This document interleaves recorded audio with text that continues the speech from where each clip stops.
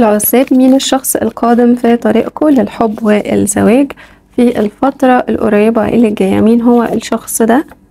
وإمتى وفين ممكن تقابلوه؟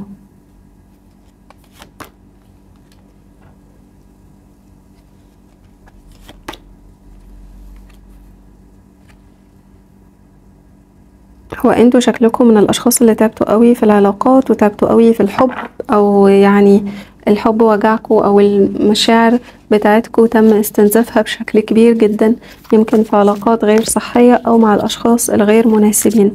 توأم روحك هو شخص في الناحية المادية من أقوى الطاقات المالية يعني شخص ممكن يكون ثري أو وضعه المادي ممتاز جدا.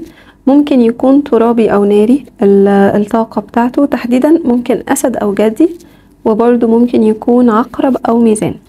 والحمل معاكم الشخص ده هتقابله ممكن في شغل أو في حالة أنت فيها زي وضع استقرار يعني ممكن تكون بتقدم على شغل أو الشخص ده شغال معاك في نفس الوظيفة أو حاجة أو هتقابله وأنت رايح الدوام بتاعك أو كده أو عن طريق الأسرة يعني يعني زواج تقليدي أو معرفة تقليدية. أوكي؟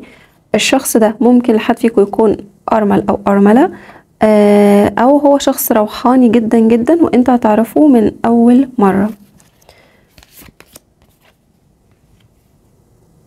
في أول لقاء بينك وبين الشخص ده أنت هتحس إنك انجذبت إليه جسديا أو اتشديت إليه جسديا بشكل عالي قوي آه وهيبقى في جزء جواك عاوز علاقة زواج مع الشخص ده. يعني من جواك هتبقى بتتمنى إن الشخص ده هو اللي يكون زوج أو زوجة ليكوا أوكي؟ هتبقوا أنتوا شوية بتتعاملوا مع الشخص ده بنوع من التقل أو بنوع من المقاومة أو كنوع من الرفض للعلاقة أو إنكار المشاعر أو أو رفض التعارف عليه.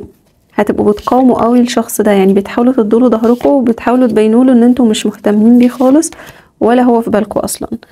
آه لكن خلال فترة زمنية من 3 إلى 10 شهور من وقت تعرفك أو لقائك بالشخص ده بتتزوجوا أو بترتبطوا بس أنت طول الوقت هتبقى يعني بترغب فيه وتشتهيه واللي هو عيني فيه وأقول أخي تبقى أنت نفسك في الشخص ده بس تقول لا أنا أنا تمام أنا مش عاوزه أنا هديله ظهري أنا ماشي أنا مسافر أنا هشوف حد تاني. بس هتبقى أنت مشدود لي قوي وهتبقى بتفكر فيه جدا كمان. علاقتكم ممكن تبدأ كصداقة ثم تتطور إلى حب وزواج وممكن فعلا لحد فيكم يكون الشخص ده شغال معاك دلوقتي أو أو أنت هتقابله قريب. يعني لو بتسمع الفيديو ده وقت نزوله فادي نفسك فترة شهر. يعني إن لم تكن قابلت فعلا الشخص ده ممكن خلال شهر أو خلال فترة قصيرة جدا بتقابله أو بتشوفه إن شاء الله. شكرا ليكم وإلى اللقاء بفيديو جديد.